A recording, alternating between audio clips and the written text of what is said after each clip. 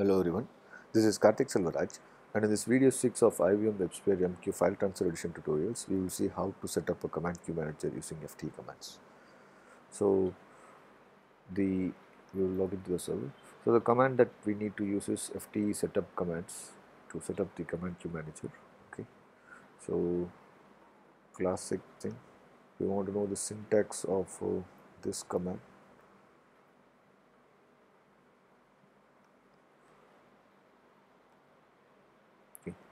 just go to command prompt preferably with uh, admin access and cd into program files IBM WebSphere MQ bin and uh, execute this. So you will come to know the syntax of this command.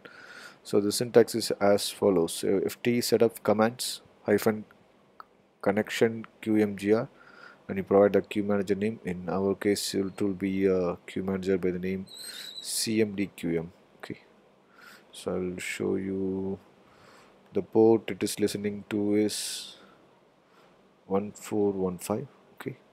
And uh, the channel that we will be using for this connection be system.def.svr so it will be an uh, server connection channel and it should be a server connection channel you can create your own channel and you can make that as the channel to use for this setup as well. But for this demo we will be using this channel. Okay.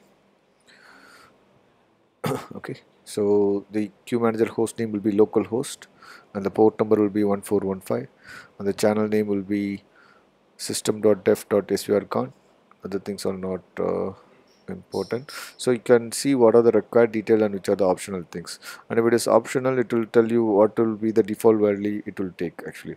So for the uh, suppose for the um, queue manager channel name if you are provided it it will take the system.def.svr as the default queue, uh, channel name. Okay.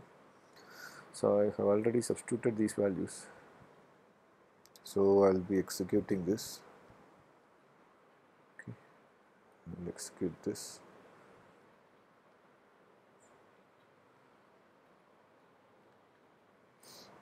Okay. So you can see that uh, okay we have got some issues. Let's see what it is. The configuration option directory c config does not exist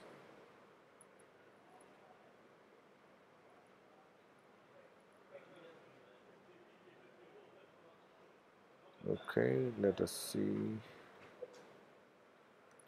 what that is. It is available but you can see that it says it's not available. Let's check what the issue is. I'll just pass this video for a minute.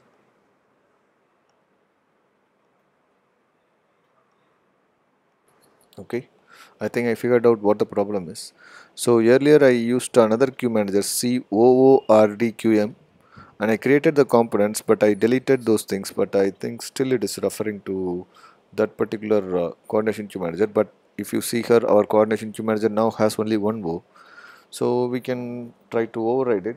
So that's why we have this hyphen p thing okay? So by default it is actually going to COORDQM so if you give this it will override it okay? So I think uh, this happened for me to explain the importance of having that hyphen p parameter good. So you could see that the property has been successfully created. Okay. So you can see the property files has been successfully created. So that's it about uh, setting up a command queue manager.